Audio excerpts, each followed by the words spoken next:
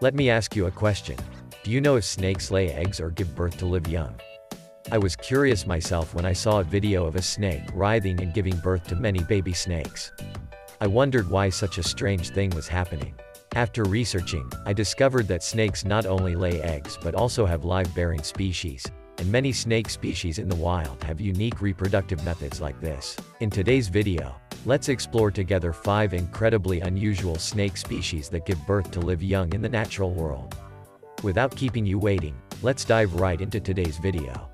First of all, I will explain a little to those of you who might have questions about the difference between pythons and snakes, because in this video, I will address the reproductive methods of both species. If you think that pythons and snakes are two different types, you are also mistaken, as they both belong to the same snake family.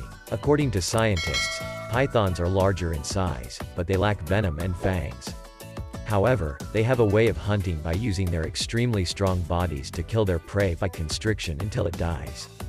So, please remember this. I must admit that there was a time when I saw a video shared online showing a snake in distress giving birth to a litter of offspring.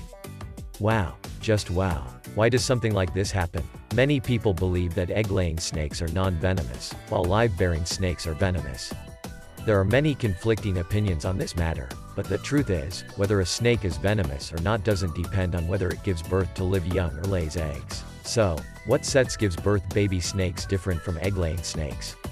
According to statistics, up to 70% of snake species in the world are egg-laying, while the remaining 30% give birth to baby. Experts classify snake families into three groups based on their reproductive methods.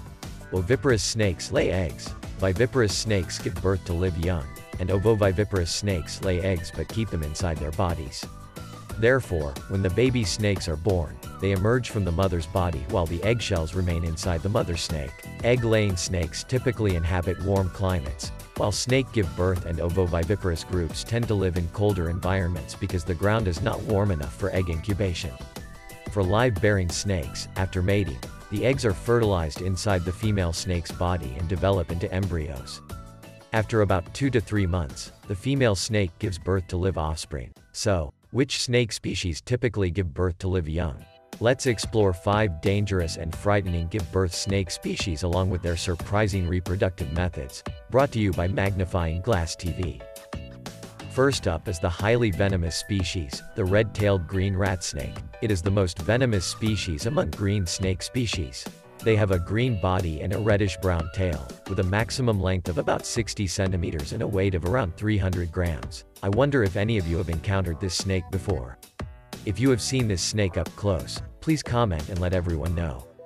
This species is also unique because among green snake families, only the red-tailed green rat snake gives birth to live young. Unlike some other snake species that lay eggs, they retain the fertilized eggs within their bodies. During this time, the mother snake is most defensive and has the strongest venom. So, be cautious as this species often camouflages itself in trees and is difficult to detect. Next up is another highly venomous snake species from the sunny and windy desert regions. Second place goes to the rattlesnake. Rattlesnakes originate from countries in the Americas. This rattlesnake mother hasn't eaten throughout her entire pregnancy and will hibernate up to giving birth. This means that she may go over a year without eating.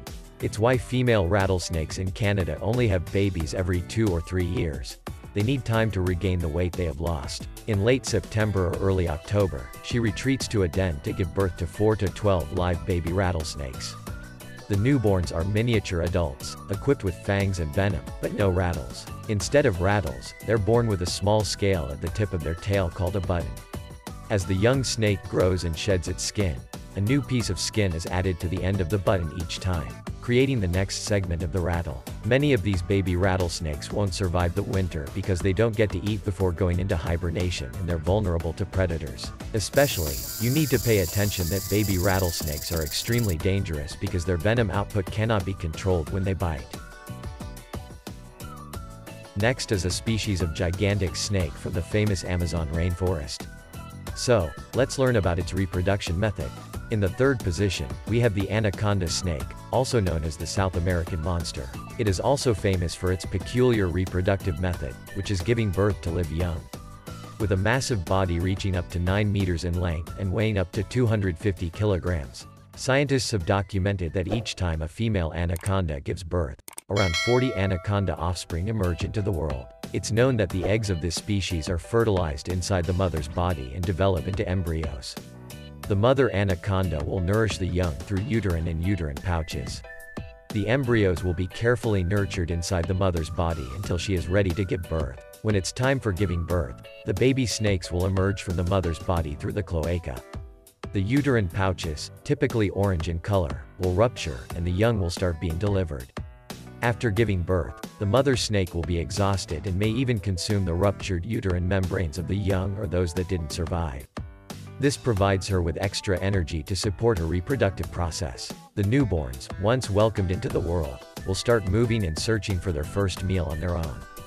They have to fend for themselves, seeking food and facing potential threats from predators or dangerous aquatic creatures from the moment they are born. Those fortunate enough to evade the clutches of death will find sustenance and embark on their journey to adulthood. Next up is a species of pythons with its own unique reproductive method. In the fourth position, we have the boa constrictor.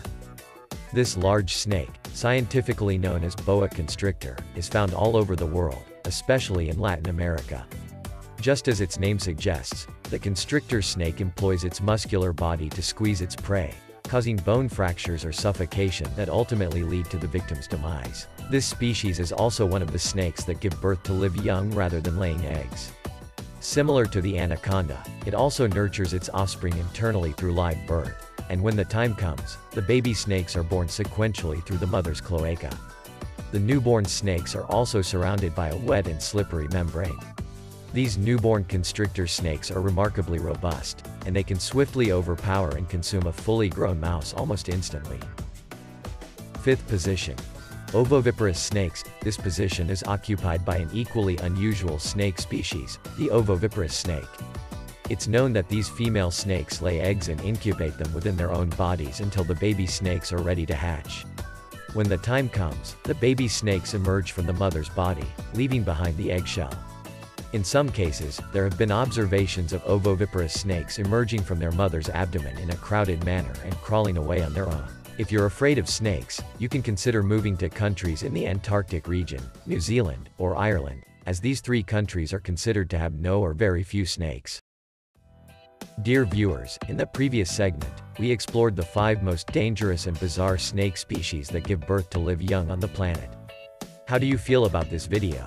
Don't forget to give a like to Magnifying Glass TV and subscribe to the channel to not miss out on the best videos every day.